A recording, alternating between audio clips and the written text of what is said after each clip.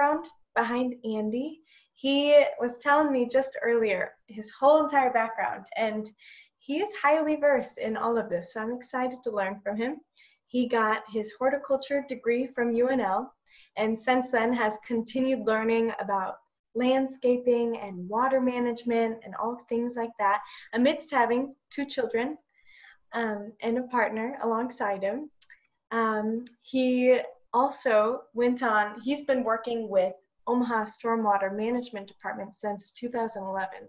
He started on as an intern and has moved up and must love it so much that he's stuck with it for just about 10 years. So that's awesome. um, again, thanks for being here, you guys. Just a full disclosure you are muted and we can't see you. So if you're eating or whatever it may be, don't worry, you are not seen right now or heard. Um, all right, if you have any questions, we're going to take one break halfway in between his lecture so that anyone can ask questions. Feel free to post it in the chat or in the Q&A and we'll address those midterm make sure that we finish up just before four o'clock. So lastly, again, thank you guys and welcome Andy Szatko. Awesome. Thank you, Dakota. Appreciate it and glad to see everyone here. Um, as, as we go through, definitely post questions uh, as we go along. I have lots of pictures and lots of information, but if there's particular areas that maybe aren't clear or maybe you want to learn a little bit more about, definitely don't be afraid to ask those questions um, uh, into the, the chat so that we can talk about what you guys want to talk about. Um, with that, um, Dakota got my background uh, pretty well and excited to be here at this Omaha Stormwater Program. We have a great team here a lot of people um, doing the things like you see here in this picture, helping promote um, landscapes that help soak up water versus letting it run off. So we're gonna learn all about that stuff here quickly today. Um, and with that, let's kick it off. Uh, I already mentioned our team here. The people I work with um, make the job a lot of fun and really interesting and we, we do a lot of things here above and beyond just sustainable landscapes. Um, so the Omaha Stormwater Program is under is a City of Omaha program, and we have a permit with the state, and we do these eight different program areas. So the reason I get to do things like this is um, education outreach. So we want to make sure we educate people on what's required, what's not, what works and what doesn't work. And if there's issues with stormwater pollution, you can reach out to us and we can help get that uh, figured out. We also engage people, the public. Uh, illicit discharges is a fancy way of saying somebody who's dumping pollution in the water. We go out, and investigate that, check things out. Uh, construction sites with their silt fences around it. Uh, we help make sure construction sites stay clean, um, Post-construction runoff means uh, when a new development goes in and they have new parking lots and new buildings, trying to manage that runoff as best as we can so that isn't a source of pollution.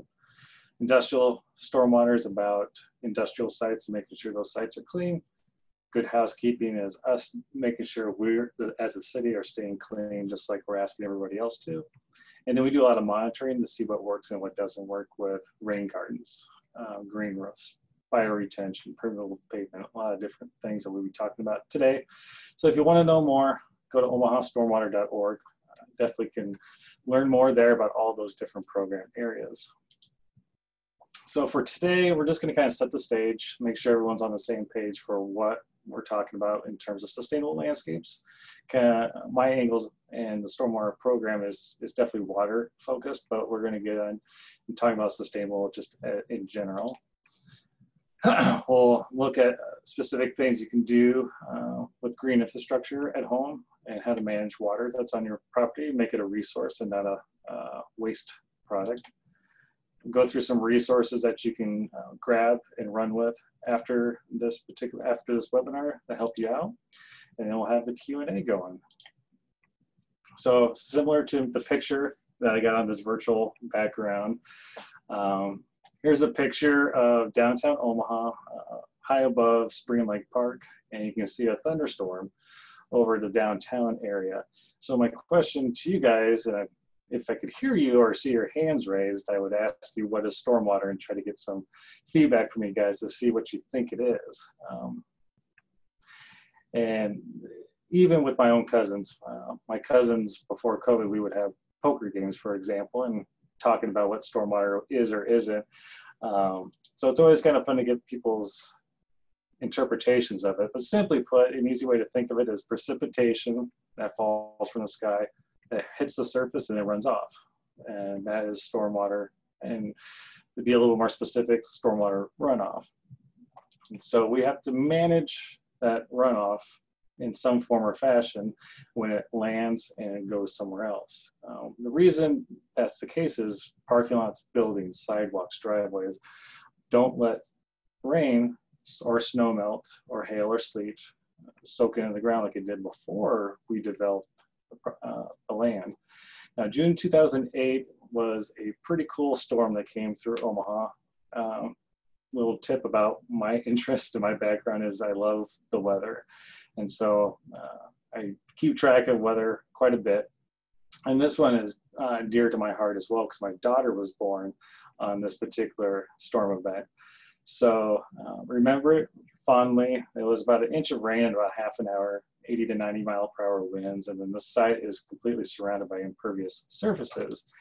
And the reason you know, stormwater can be a really tough thing to keep keep a handle on because it, water accumulates quickly. So um, the area around this all ran off into this one manhole. And this one manhole takes almost two acres worth of surface uh, impervious surfaces.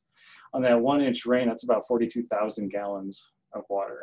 So imagine your milk jug, imagine 42,000 of those being poured into that one hole at one time.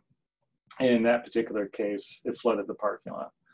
So stormwater is a, is a big thing to manage. We need lots of infrastructure. We need lots of tools in the toolbox. And so um, the reason we need lots of tools in a toolbox is every site's different and unique. And we also have lots of different problems with stormwater runoff, which sometimes we have too much of it.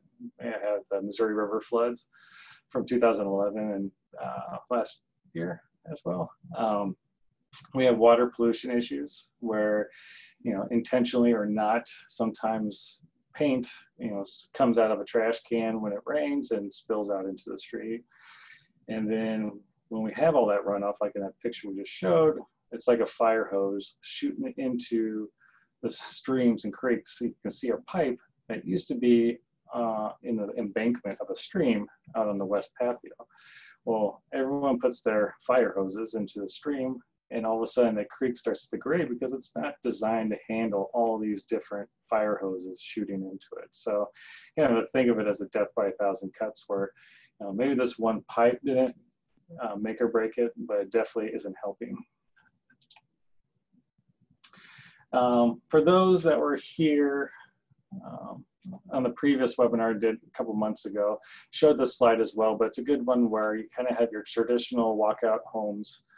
Um, you got large backyards, and in this particular development is designed to drain uh, from high to low. So your, the picture on the top left is looking upstream at the homes at the top of the watershed as it flows uh, downstream. And so if you're going out, maybe you're looking to buy a house in this area, you may think none the wiser, right? Big grassy areas, it can't be that much rain coming in there, but lo and behold, on big thunderstorms that we get often here, you got about a 10 foot river white capping on the chain link fence, getting about a three, three or four feet close to your foundation. And so uh, there's issues galore in lots of different neighborhoods and trying to manage water as it comes into, through, and out of our property is a really important thing uh, uh, to, to do and to manage. And that's what we're going to do today is learn a little bit more about that. Uh, so we get lots of thunderstorms, right? We, it's feast or famine. Sometimes we get heavy buckets of uh, intense thunderstorms. Sometimes it's slow and drizzly. Uh, this is a graph, a, graphic I like to use that looks at Eppley Airfield's rainfall just on an annual basis. 30 inches is what we're at every year um, on average. For the past six years, one, yep, past six years, we've been above average. Below, um, before that, we had a number of years right at average or maybe slightly below. Um, but if you take the lowest, driest year in 2012 of 22 and a half inches, and you take the wettest in 2015, you get two thirds of our average annual rainfall, which is a huge swing in when we're talking about plants and landscapes and managing things uh, in that nature. So if we can do stormwater management well here, you know, it's, it's a pretty robust system. We can do it in a lot of different places. So we get through the wringer. A little graphic on the bottom right talks about rainfall events per year. Sometimes we get lots of the big storms and sometimes we get a lot of the fewer ones. And you can see just the difference between 18 and 19, uh, how many more events there were in 18 than there were, was in 19. 19 had a total more rainfall. So you know the events were probably a little bit heavier because there weren't as many of them. Um, this year is a really interesting year. It's currently we're at 13.6 inches at Eppley Airfield. Really, really dry. Um, at this point in the year, we're over 12 inches below average. So feast or famine, right? Um, and of those different rain events too, something to keep in mind is even though we do get those big ones, they don't make up a lot of those total rain events that we get. Most of the time, we're looking at an inch or less. So this orange slice is an inch or greater. Everything else is less than an inch of rain. And as we move forward, sustainable landscapes, green infrastructure, I'll kind of use those two terms interchangeably, uh, can, are really good at managing those smaller events. They're not really, they only have so much size, right? You can only fit so much water in a rain barrel or a rain garden. And so um, the stuff we're going to be talking about does a really good job of managing the lion's share of rain events. So moving on from that, some of the common things that as a landscape professional and then coming and working with the city, there's a lot of perceptions out there, and there's some very common ones when we're talking about sustainability, uh, green infrastructure, stormwater management. People like to use the word control. They like to control water and get it away as fast as possible. Um, people also like natural landscapes, right? You go on vacation to the mountains, you go on a hike to the forest. We love natural landscapes, but when it comes to our landscape, we like the natural look, but we want it neat and tidy. You know, we don't want too much nature. And then also, uh, we'll be talking about some native, native and adaptive plants, and there's a perception that native plants means there's no maintenance. You can just put it in there and forget about it. Um, well, that's these perceptions are not the case. You know, instead of saying control, always think of it as managing water. We want to slow sink and spread water where it lands. If we can do that, then it doesn't go into that storm sewer pipe and create the fire hose into the creek. And it lets the plants uh, use it. We can recharge groundwater. So always think about managing water with the three S's, slow sink and spread. Um, now, sustainable landscaping can be formal and it can be informal. It can be whatever you want it to be.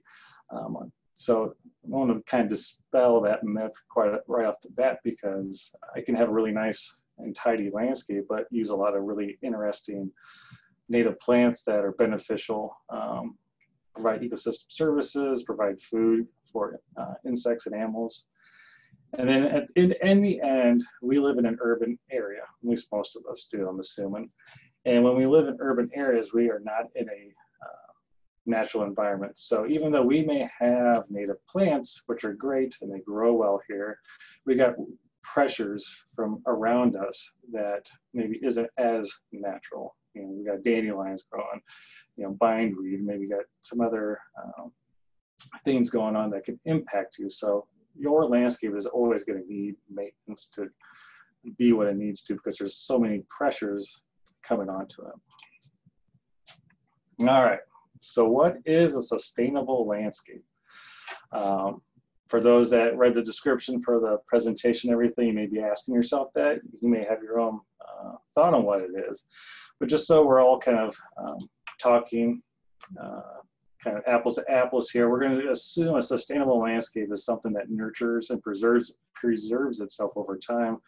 It doesn't require a lot of additional amounts of water, chemicals, uh, fertilizers, pesticides. So it's a real simple way to, say let's uh, doesn't need a lot of inputs, so we don't put down the chemicals. It manages water, looks pretty, uh, is an ecosystem uh, provider for insects and uh, ecosystem around it. So I mentioned I kind of use these terms a little interchangeably. I will always kind of default to green infrastructure since that's the, career I'm in, that's the, the realm I'm in. I'm really kind of focused on stormwater, which is, we use this term quite a bit to talk about the preservation, connecting, and mimicking of natural processes so we can manage rain where it lands. The green infrastructure can easily be used in terms of sustainability with a lot of different aspects of sustainability. But here for today, we're going to kind of hone in the notion that green infrastructure is all about uh, what we have here notion of, notion of preservation is to say, don't mess it up in the first place. It's one of the best things you can do, right? And if we have fragmented green infrastructure practices around, they don't work as well together unless they're connected. So um, that's why we want to say connecting. Mimicking. So we're going to talk about a little bit permeable pavement and rain barrels today. Well, those aren't natural, uh, but they mimic water actually uh, landing on the ground and going into the ground. So a rain barrel mimics it because it holds that water for a little bit so we can put it on our plants and our landscape as opposed to going down the driveway. All right. I think we're doing pretty good. Moving on to green infrastructure, the benefits, right? That's kind of what we're here today is to learn about the benefits and why you're going to want to do this. There's lots of reasons why, but we can break it down into a few simple things in that can habitat, our bees, our pollinators, um, birds, you name it, need plants, need diversity. Uh, they don't necessarily need concrete or roofs. So we want to make sure we're incorporating habitat so that we have a happy environment around us. Uh, it looks good. Simply put, green infrastructure looks good. People like to be near uh, green. They like to be near plants in the landscape. Uh, green infrastructure also provides uh, clean water and helps us clean up water as well. And then happy people. Um, this is a picture of an Omaha green infrastructure tour a couple years ago where uh, we take people around and go look at stuff. And it never surprises me the response we get where we had for a number of years two charter buses full of people. We would take around Omaha and um, enjoy green infrastructure in town. So bringing it back down, not back down, bringing it down to our home landscapes. That's why we're here today to kind of learn about what we can do at our homes. And when I talk about green infrastructure, uh, we're talking about things like you see here, rain gardens, bioswales, rain barrels, uh, you can read the rest. Um, there's lots of different things that you may even not know are green infrastructure, like trees. Trees that you see in these pictures hold a lot of water in its canopy. And not only that, but it slows water down as it's falling and doesn't cause as much erosion either. Uh, so think of a tree as a little mini lift station. It puts its roots down, pulls up water, you know, evaporate, you know, evapo, it breathes, it uses that water, um, and helps really manage stormwater well on a given property. And by the way, this is my front yard as well. Dakota and I were talking before the webinar about you know whether or not my yard was really you know the best yard, the most sustainable yard. Um, but my commenter was, well, landscapers' yards is, is always the last yard to get done. So, but here I like to have fun with water. So uh, my neighbor has her downspout shooting right uh, right towards my property. Well, I ended up rebuilding my retaining wall with this little low spot. And I'm not quite sure if you can see my cursor um, on the screen. Um, if not, you can, okay, good. Um, you can see a low spot in the wall that actually I, uh, I let the water come over into this little cascading uh, mini rain garden. And then it overflows that into another little mini rain garden. And this rain garden is getting bigger and bigger as I have time. So you can see a little bit of my yard here and some different easy ways to incorporate stormwater management and green infrastructure. Now, where to start at your home? It's the best thing you can do is improve your soil. Okay. Uh, too often we, we kind of want to get going and go buy all the plants and stick them in the ground. Uh, for those that have newer homes, odds are your soil is probably not the greatest because to build a home, you have to have equipment driving around, compacting the soils, ruining the structure of it. And who knows what's left over. So improving your soil is going to help not only those turf areas, but your sustainable landscape beds as well. So start there first. You can do an easy soil test um, and take it to the extension office. You can do it to a couple other companies here in town where they can tell you put X, Y, and Z into your uh, soil so that you can get plants to grow there. So that's the first thing. Second thing is you know, compost is a wonderful thing. Uh, it's a uh, adds organic matter, it adds structure to soil, and it gets it up and running. Uh, what you're seeing here is a workshop we did with some homeowners. This was back in my grad school days. And we got uh, everyone together and we're working in compost into a fairly clay soil, not the best of soils, and uh, working it in. And it's helping to build the soil back. Um, we, I use the term soil conditioning as a term because we can't restore soil. Nature's going to do that over time uh, through adding organic matter, having plants there, having worms, uh, beneficial fungi in the soil. So I, I, can't create soil, but I can definitely set the stage for it to, to come back. So compost is a great, wonderful thing to do. Um, don't put too much into it if you got a, a, really good soil, you may not even need any compost. But if you got a poor soil, one to two inches tilled into the top six inches is, is a great idea. Um, once you are all said and done tilling in the compost, uh, you can take a break, sit down, look at the darker soils there instead of the light tan soils as well. Um, so we're uh, got all the compost worked in there. If you want to learn a little bit more uh, soil conditioning, it, uh, we have a, a, simple fact sheet on omahastormwater.org. You can go take a look at. I've sprinkled in these resources uh, throughout the presentation. Uh, so if you have something you're interested in, uh, definitely go take a look at it and learn a little bit more about it.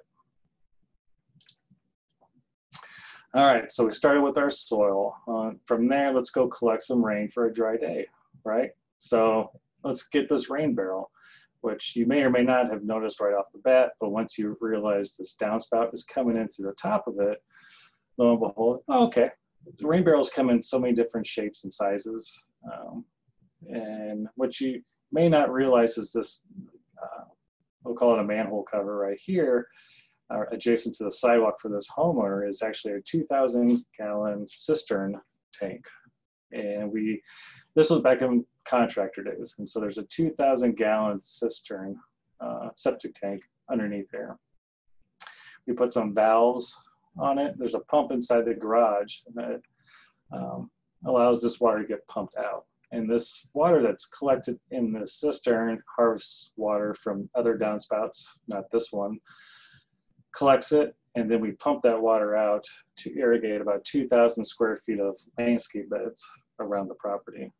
Uh, Sharon, whose home this is, is a uh, wonderful lady, wanted to do everything sustainable she could at her house. And so this is our two examples, the rain barrel and the rain cistern that we did uh, to, again, make it a little bit more sustainable there.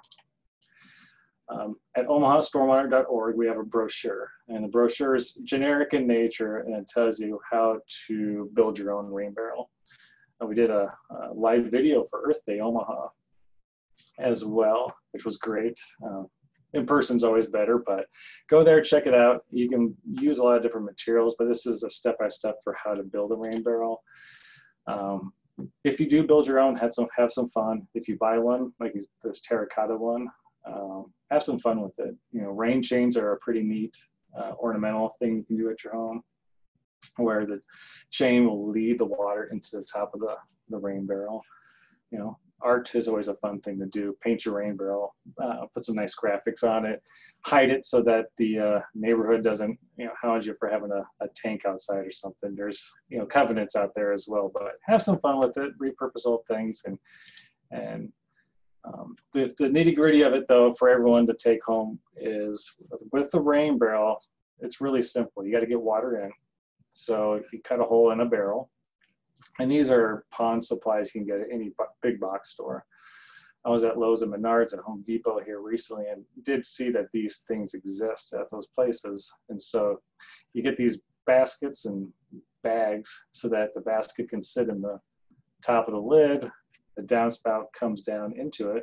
Now you can keep the leaves and sticks and debris out. Now you want to get the water out, so you put the spigot at the bottom. Buy just a spigot at the big box stores, drill a hole and you can screw it in. And then over here on the right is uh, when the barrel fills up, which it will, um, 1,000 square feet of roof. On one inch of rain, you're going to get about 600 gallons of water. We get 30 inches a year. So if you have a roof of any size, you're going to get a ton of water. That's not to fit in this barrel, so you want to have an overflow. So make sure you have an overflow and you can put a pipe on the end of this and take it wherever you need to. You do lose some capacity at the top, but you got to have that because you don't want water coming out of the top and going somewhere where you don't want it to. And I thought I'd share um, at that Dundee Elementary School on the title slide. Um, this is a picture of a 500 gallon rain silo or a 500 gallon rain barrel, whatever you want to call it. This one was sold as a silo. Uh, so it's really neat. Uh, the school uh, can use it to irrigate their uh, outdoor classroom there as well. So comes in lots of different shapes and sizes, but the concept is the same. Water in, water out. And when this thing's full, it actually goes straight down the pipe on down into the landscape over there. All right, so we collected rain for a dry day. Now we're collecting some rain for wet days, right? So here's the rain garden. Here's an example of a neighborhood called Saddle Hills over off 78th and Fort Street. Uh, we did, uh, we got some grant funds and worked with homeowners over there to pull runoff from the street into their, uh, into their yards. And so that's what you're seeing here. Um, you really, to do this, I showed this with a, with a, with a word of caution. To take runoff from the street means you really have to know what you're doing and design it appropriately because there's a lot of runoff that comes down the street. And I'll show you here in a second. Um, but all that's to say is uh, rain gardens come in lots of different sizes, shapes, and colors and textures. And this one, this area helps capture grit, sand, debris coming off the street. So you can clean up easily without it getting into the rain garden as well. So a rain garden is simply a shallow depression that uses native and adapted plants uh, to absorb and filter stormwater. And it's also designed to drain within 24 hours because it is not a bog, a wetland, a mosquito breeding ground. Um, when that water is draining leaving within 24 hours, you avoid mosquito issue problems. So this is another one of the rain gardens in the neighborhood as well. And I'm not sure if I'm lagging here. Let's press play.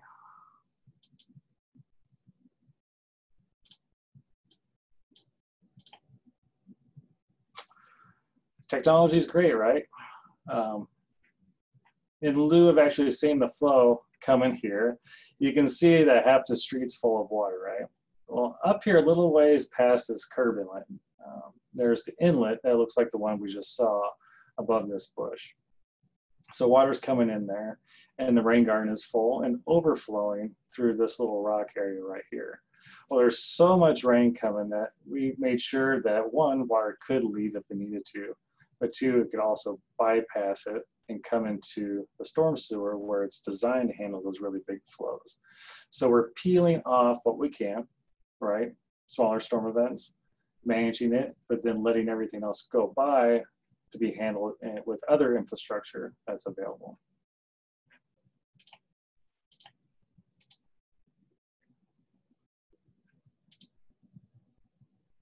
Yeah, well, too bad.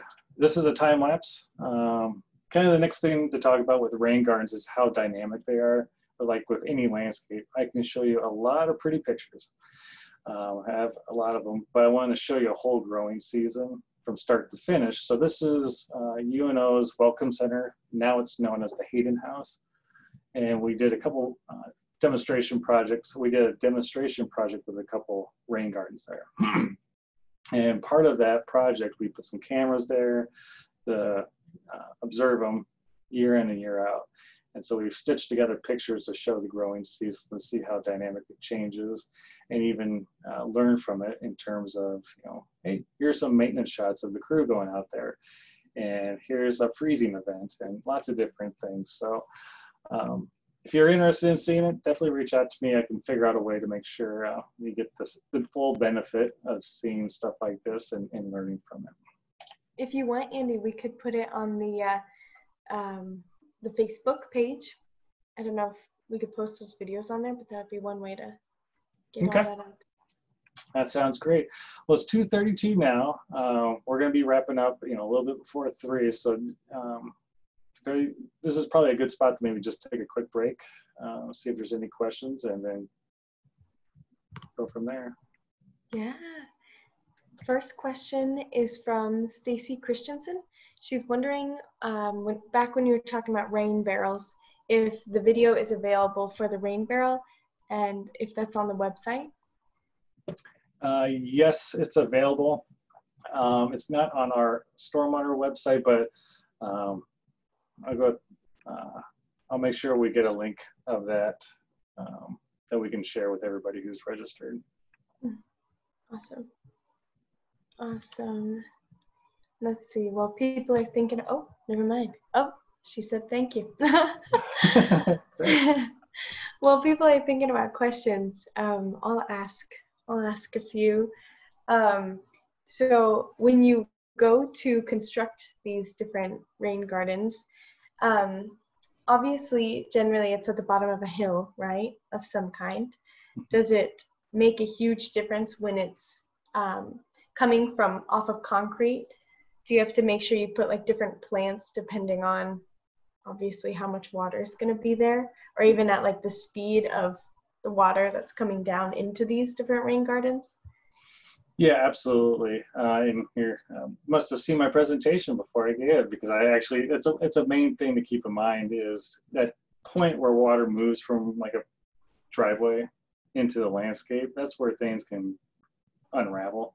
Yeah. Soil can erode. So there's definitely certain plants that are really good at um, those kinds of areas and you know plants that are rhizomatous or spread as opposed to being a single plant single mm. plant water will kind of come and split around it and can eventually erode that but if you got a plant that has rhizomes it's going to f- fill in the area and hold that soil better huh yeah mm, lots cool. of good good little things there and some of the resources we'll touch on will help people get to that point cool um, Sharon Manhart is asking if there are any local groups or consultants that could help with design ideas for home projects, native, pollinator, sustainable land typings type things. Yeah, Sharon, that's a great question. It's, if there's nothing else that everybody today takes away is to ask people about water, about rain gardens, and uh, it forces the industry to get better, and it forces people to maybe create a local group. Uh, there are a lot of different groups out there working on different things. Um, I believe, um, you know, even Heartland 2050, for example, is a um, planning. Um, it's a it's trying to work together on natural uh, resources and improving that. And so there's lots of people that are part of this Heartland 2050 um, that work together on um, water resources or trails or any number of things that if you want to become more involved with it, that's a great place to start. Um, there's also lots of companies out there that are starting to focus on this. Um, I don't have anyone to recommend to you. Uh, I can definitely tell you which contractors we've worked with in the past on projects like you're seeing today. Um, and definitely reach out to me. My contact information is at the beginning and end. And so I can definitely talk with you and sharing more information with you at that point. Mm. Awesome. Um, let's see. Next one, Brittany asked if you can, if you do a container rain garden for a downspout that feeds to cement.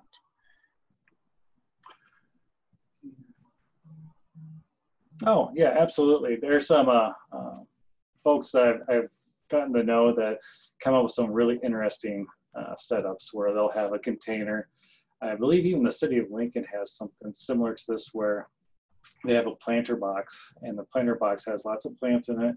It takes the runoff from the downspout, kind of holds it, stores it, and then extra water has a uh, pipe that goes safely somewhere else downstream. And then over time, those plants will use that water, and the water that is stored in there slowly kind of bleeds out over time, so that it does become like a stagnant water area, but it's at a slower rate. Uh, it's a little bit cleaner. Um, and the reason slow is important is because the speed of water is a pollutant in and of itself because it causes so much erosion and damage to streams, creeks, and other people's mm-hmm. property. Hmm. Good to know.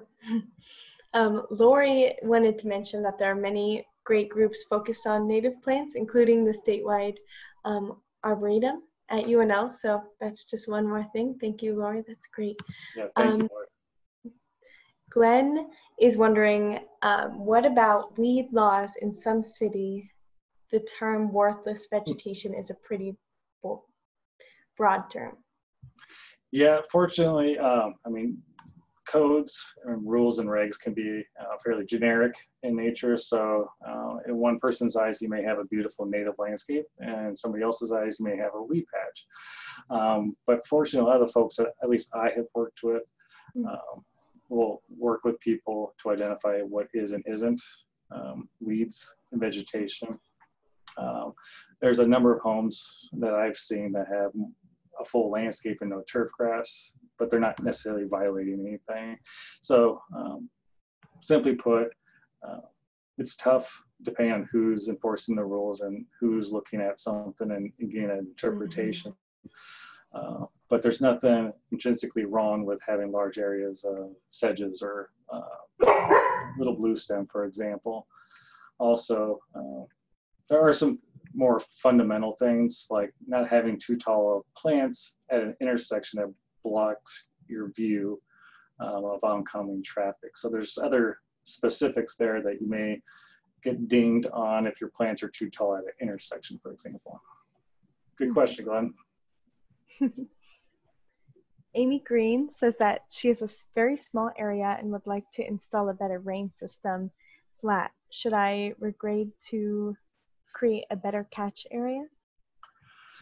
Um, well, happy I'd be happy to uh, maybe talk to you a little bit more in detail. But if you have a very small flat area, uh, you may need to do some regrading to you know have water stored in one area and you can walk and occupy a different area without having your feet wet. And so there's probably a lot of things you, you can do. Um, I know that's fairly generic, but uh, happy to get you some yeah. more information. Yeah, it sounds like she she put a little bit more in. She says, um, another area I have near our mailbox would like to create or incorporate the standing area water to develop a rain catch system in our roadside ditch area, which is lower than the road. Suggestions. Gotcha. Yeah, there's um, you know roadside ditches, um, or if you're got curb and sidewalks. You got these hell strip areas that have become very uh, unpleasant for plants areas. Uh, definitely do things in that area. Uh, context is really important. So um, if you're having runoff from a road, you need to have something that's done quickly because if you, let's just say, you know, remove whatever's there, you have bare dirt and it rains, all of a sudden you have sediment leaving the site. Don't want that. So lots of different strategies to achieve um, I think what you're talking about here, but getting the right plants, something with a little bit taller vegetation that can filter water but still move it through and look nice and maybe you don't have to mow it as often, all feeds into that sustainable aspects that we're talking about today. So I think you definitely have some opportunities there to do some, some pretty neat things there uh, for a catch system along your road. Thanks, Andy. Um, it looks like last one for now. Nancy is wondering she says, when doing recovery restoration, specifically removing bush honeysuckle from an area, the ground is unprotected and vulnerable for a period of time. What is your best or quickest protection method until it can recover? Um, lots of different options. There's things called erosion blankets. So depending on your context, sometimes they're they look like straw, or sometimes people will just put straw out. Um, some people put their grass clippings down. So if you have an area that's not taking concentrated flow, you can do something like that because you just want to cover the ground so that the raindrops don't dislodge it and cause erosion.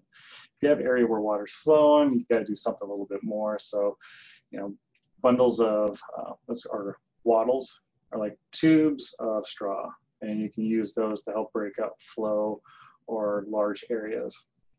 There's other matting, erosion control mats that are made of like coconut fiber that last longer. And you can plant within it so that over time the plants will grow through that netting um, and then they prevent erosion. And then as that blanket degrades over time uh, you kind of trade out those two um, things so that they're working together and you're not letting sediment leave the site. Good to know. Thank you andy.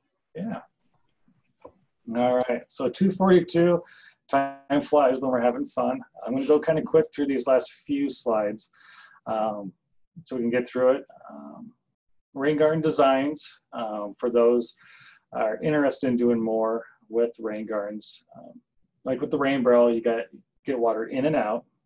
Uh, you want to make sure it has a flat bottom. Think of a cup, right? If it's flat, yeah, it holds as much water as it can. But as soon as I start to tip my cup, water is going to pour out and I can't hold as much water. So the same thing is for the rain garden. If we have a flat bottom, we can really maximize how much water is stored in it. Uh, a berm, a berm is simply around it to help hold the water in place, right? So if we have a bowl, uh, think of the berm as the edge of the bowl holding everything in. Definitely want to um, make sure we have good soil, like we've talked about before. Uh, mulching uh, a landscape after it's installed helps keep moisture in, keeps weeds down, and the plants. We love our plants, and we got to make sure those are part of the equation. Uh, configuration of a rain garden is really up to you. Um, really, um, what, you, what fits the space, what looks good. Um, but you also want to have some rule of thumbs.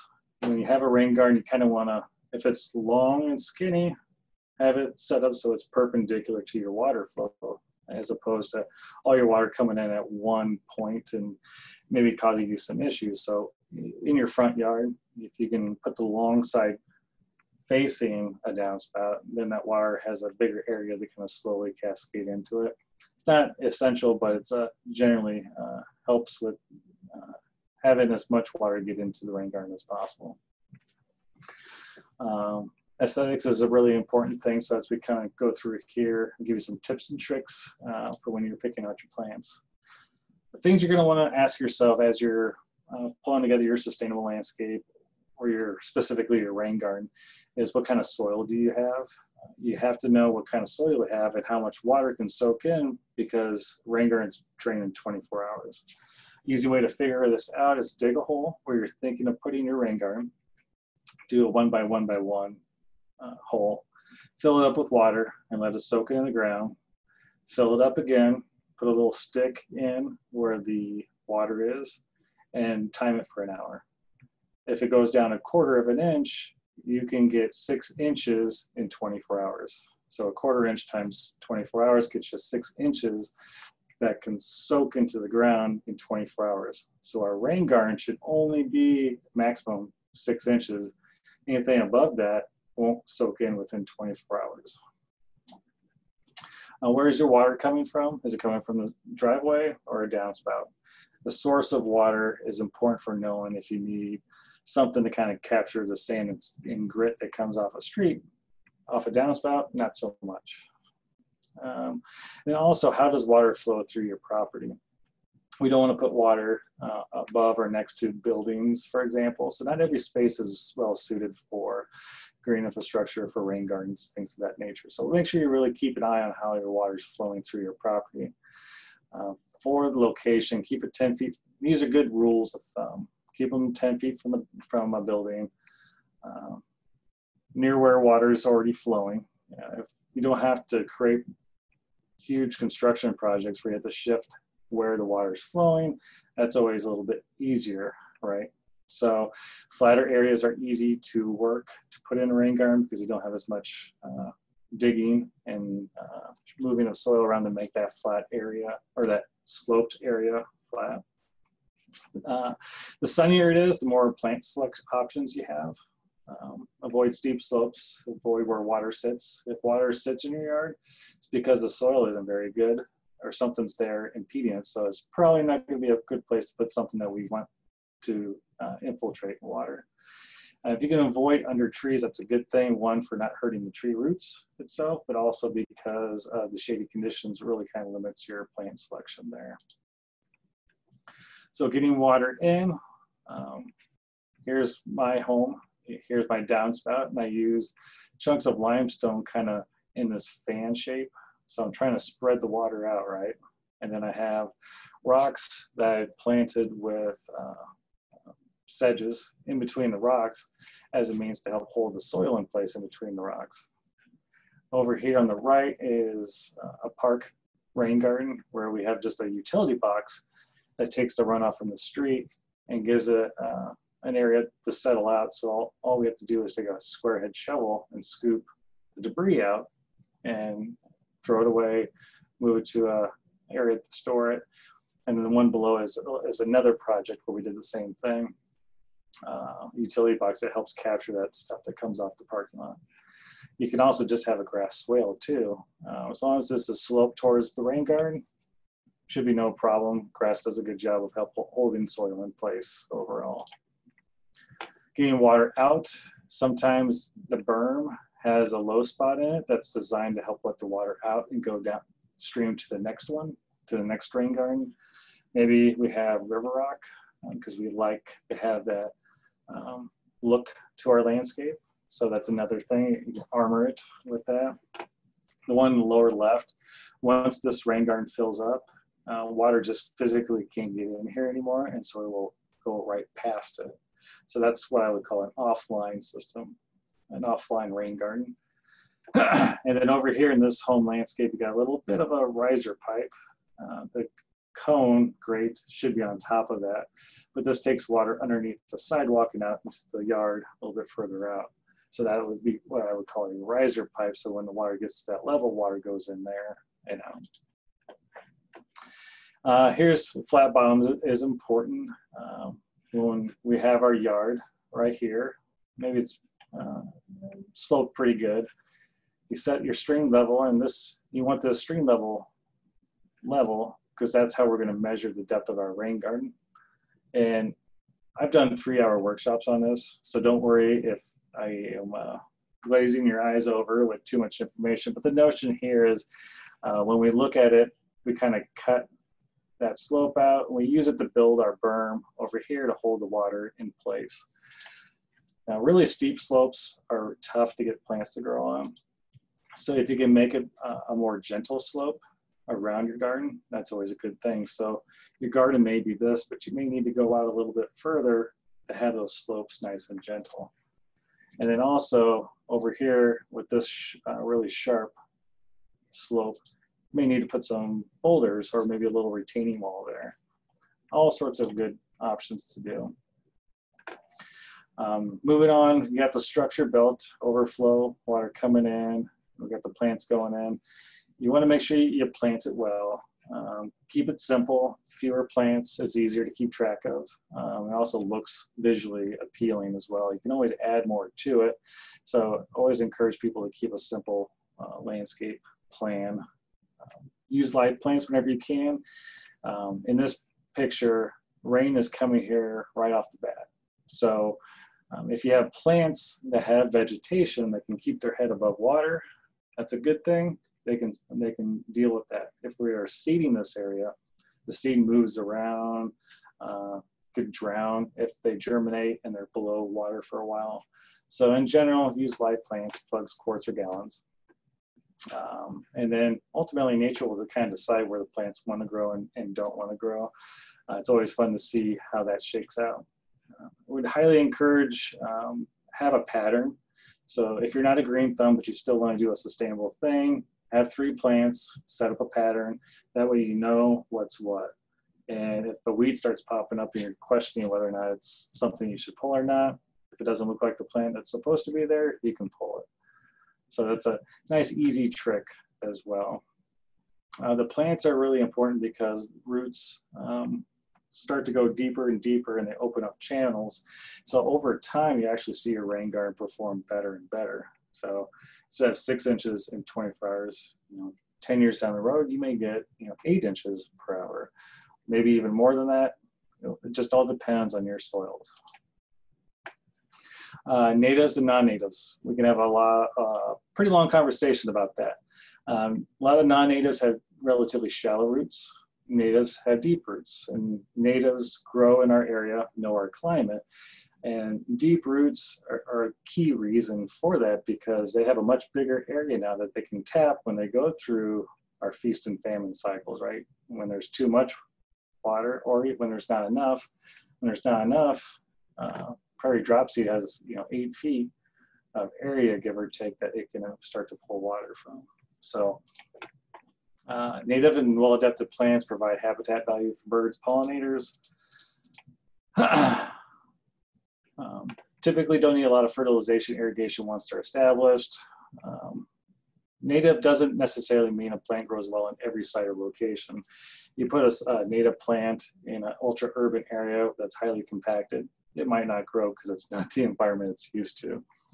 Uh, NIWA-NIPS is a fun little acronym nobody knows or uses, but it, it means native ecologically well adapted non-invasive plants, which opens the door for plants that may not be native but work well here and don't take over the world um, in your particular landscape. Had a little video here of a happy little bee, uh, a happy little pollinator as well. Took a, a bee flying around some penstemon in the front yard. Um, it's pretty fun to see it working, um, see the animals and insects happy. Since we are at 2.53, I want to make sure we have some time for some more um, questions and answers. I'm going to go real fast through this. And these slides are meant to kind of show you some different examples of uh, foliage texture and color. Uh, making sure you got plants of different seasons. You got asters here, you got the fox sedge, and down the middle is the switchgrass that's gone dormant here uh, in late October. Lots of good stuff. Here's an example of a really simple rain garden where you have switchgrass on the right and you got some Karl Foerster on the left. Simple. Some people like it, some people don't, but the notion here is uh, that's pretty easy to maintain, especially if I send my two kids out to do weeding. I say, don't pull this, don't pull this, and there's something else you can pull it. uh, make sure you get the right height of plants. Uh, Joe Pye weed is really tall. Little Joe is much smaller. It's still tall, uh, but it's a better option. And generally speaking, taller plants tend to be viewed as more weedy. Um, so if you don't get the right plant in the right place, um, your neighbors may not appreciate your sustainable landscape as much as, as you do. So here's a good example of, you know, shorter plants right next to the sidewalk is really short and you get a little bit taller back from there. Uh, adding some rocks, some boulders, had a lot of fun with it. Um, this is a small little rain garden uh, out in West Omaha here, um, kind of as an example of what you can do. And when people are walking by here, some people are none the wiser that this is actually a rain garden here as well, managing the runoff. Um, when you're doing this stuff, uh, it's gonna, the worst day is gonna be the first day.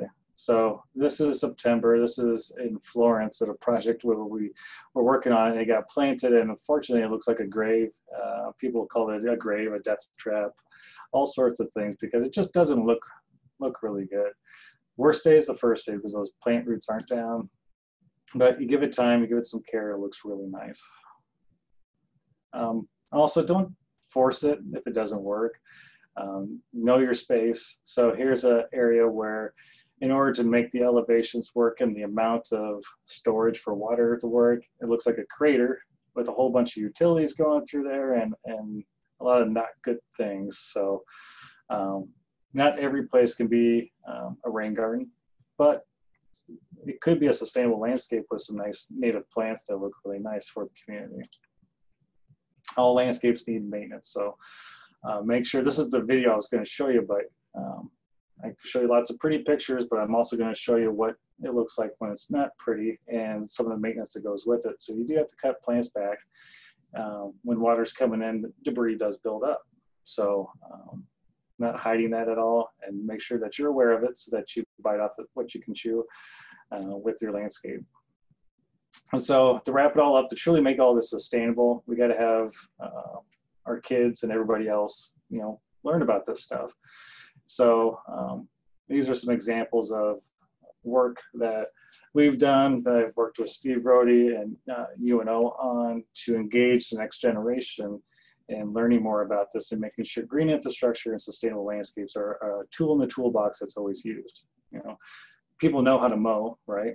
Well, we want people to know how to implement and maintain green infrastructure so that, you know, those that want to mow and go, uh, we get those people that want to, you know, manage flow and go, you know, whatever you want to call it. So doing lots of work with them, a lot of engagement along the way, um, doing hands-on projects with students and kids, um, really tying them to their, their landscapes is, is what makes this landscape truly sustainable. Omaha Northwest High School uh, did a lot of work. Uh, high school students there, they won an award for this particular project outside their greenhouse, permeable pavement and two rain gardens and butterfly wings. Um, a lot of creativity.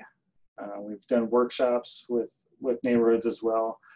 Um, so with the last couple of minutes, omahastormwater.org, there's two manuals there. One's the Sustainable Landscapes Manual, this one's geared towards the homeowners and we'll cover a lot more of what we talked about today. Um, and then bioretention gardens is geared more towards the designer contractor. I definitely encourage you to you know, let your contractor know about it, um, look at it, lots of good things there. OmahaPlants.org is a joint venture with us and our planning department and UNO to have a resource for plants that are uh, useful in a lot of different situations for sustainable landscapes. Uh, University Extension has a rain garden design. Uh, they actually have lots of extension publications. This one's a an online one that's virtual. That's really great. So Google EC 1262 rain gardens. If you do that, you'll find it. Uh, really great stuff. Helps you do site selection, sizing, has videos, animations, a lot of good stuff there. All right, that was a flurry right there at the end. Any final questions as we wrap up? Is the PowerPoint going to be available? Yeah, we can make it available for sure. Um, you can only take in so much, right? So we'll, we'll make sure it's available. Those videos, I'm excited to see them. Oh, let's see, we've got another one. Oh, Stacy said thank you. awesome. All right. So if you have more questions or need some resources, again, go to our website. Um, if you got other uh, information, questions, things of that nature, you can reach me on my email uh, there on the screen. One quick one. John's wondering where you like to purchase your native plants you know, there's a lot of a lot of places. Um, I've been out of the commercial landscape uh, industry for a while, um, but I used to work at Earl May growing up. So I can go to Earl May, Lanohas, Mulhalls, Indian Creek. Um, there's there's even some wholesale nurseries in town as well. But um, if they don't have it, ask them about it. You know, create that demand. You know, hopefully, encourage some of these uh, nurseries to carry a little bit more. Um, oh, there's a cut. There's one I'm forgetting right now that's a little bit further west of town. That's a really good one as well. But um, again, Google search native plants uh, nurseries. Um, you'll find a lot of them that I'm not even thinking of here at the moment. Well, thank you so much, Andy. Thank you for all that. That was incredible. I can't wait to start my own rain garden.